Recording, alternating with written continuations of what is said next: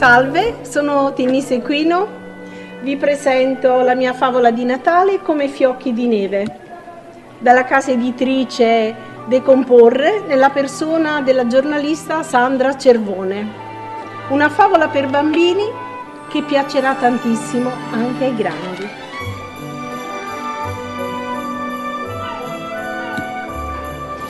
Il giorno 8 del mese di dicembre, anche se festivo, andarono ugualmente a vendere gli alberi con il papà. Fu un giorno molto più faticoso degli altri, ma riuscirono a vendere tanti alberelli. Ripresero la strada del rientro che già faceva buio. Quella sera, più fredda del solito, tornarono a casa con le mani e i piedini lividi e indolenziti specialmente Pino che era il più sensibile al freddo. Il papà, con la metamorfosi del sorriso, fece loro una proposta. Se per caso uno di voi avesse ancora un po' di forza, potremmo preparare proprio questa sera il nostro albero di Natale. Ce la fate? Il sì in risposta fu un coro a piene voci e il risultato uno splendore.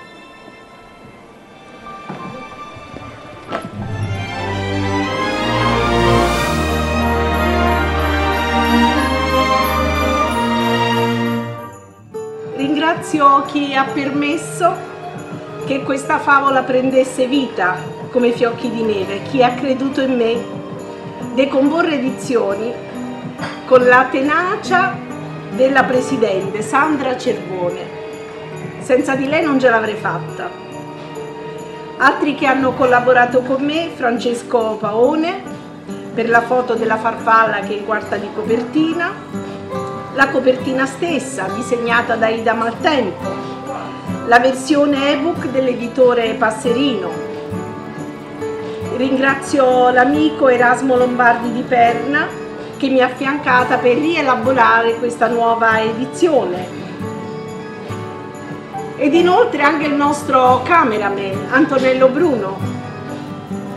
Ringrazio per il patrocinio morale il Circolo Nautico di Caposele Formia. Scrivere favole non è semplice, può sembrare ecco, eh, una maniera eh, meno eh, letterariamente nobile di raccontare dei sentimenti e invece è proprio la più incisiva. Scrivere favole è come scrivere versi, è aprire lo scrigno del cuore, andare alla ricerca dei sentimenti più intimi e dare loro eh, una veste eh, attraverso dei simboli, attraverso dei personaggi chiave, attraverso a volte degli animali parlanti o una foresta incantata. Scrivere favole mi ha eh, sempre affascinato e non ci sono mai riuscita e ammiro eh, persone come Tinni che invece riescono a parlare ai grandi, ai piccoli con un linguaggio che eh, va bene eh, per tutte le età e che anzi accomuna, unisce ehm, rende ehm, vicini i piani per intendersi reciprocamente. Ecco, a Tilly voglio chiedere proprio questo. Uh, la favola di Natale come fiocchi di neve, quali sentimenti ci illustra e uh, attraverso quali personaggi? Ti ringrazio. Colgo l'occasione proprio per dire che nella favola come fiocchi di neve voglio parlare di perdono, parlo di perdono, di fratellanza. I due personaggi sono un fratellino e una sorellina uniti da questo amore e che poi la vita porterà diciamo ad allontanarsi tra di loro, ma ciò nonostante anche le distanze sia quelle fisiche ed altre permetteranno ugualmente che ci sia tra loro amore.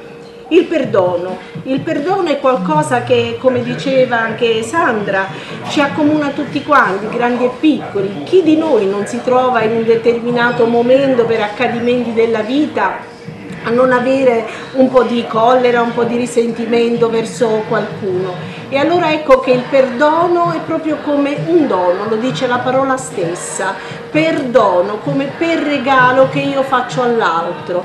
E nel perdonare perdono anche me stesso, è questo molto importante, la fratellanza, fratellanza che sia e per mio fratello mia sorella come miei familiari, ma che lo sia per tutte le persone del mondo in questo momento soprattutto che stiamo vivendo un disagio dovuto proprio a uh, questo virus che tende ad allontanarci l'uno dall'altro, noi dobbiamo riscoprire sempre di più questa vicinanza che possa essere di cuore a cuore, da anima a anima, il pensarci amorevolmente anche con le distanze, anche nelle lontananze. Inoltre avere anche fede e speranza, fede negli accadimenti che non sono ancora presenti, che non sono ancora possibili, ma che tuttavia noi con la speranza nel cuore dobbiamo riuscire a sentirli possibili, attuabili. Perché questa secondo me è la magia della vita, è la magia del vivere, è mantenere alti sogni, sempre sogni realizzabili che sono quelli che sono intrisi del nostro amore per noi stessi e per l'altro. E affinché questi messaggi non restino in un angolino del singolo individuo ma diventino universali. E quindi voglio anche cogliere l'occasione per far sì che questa favola di Natale come fiocchi di neve possa essere un augurio di Natale per tutti, per grandi e piccoli, di un Natale differente, ma di un Natale che simboleggi proprio la nostra nascita e rinascita di quel seme della divinità, di quella scintilla amorevole che abbiamo nel cuore, di questa scintilla che sia sempre viva, comunque e nonostante.